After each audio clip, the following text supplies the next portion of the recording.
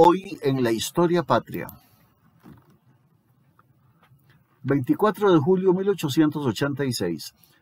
La guerra patria o campaña nacional del 56-57 marcó un antes y un después del Ejército Nacional, como institución de primer orden de prioridad del Estado costarricense. En 1852, el nivel de organización, entrenamiento y armamento de las Fuerzas Armadas era muy bajo y desactualizado. Para 1855 ya se disponía de un alto grado de organización, contándose con un armamento de última tecnología adquirido en Inglaterra.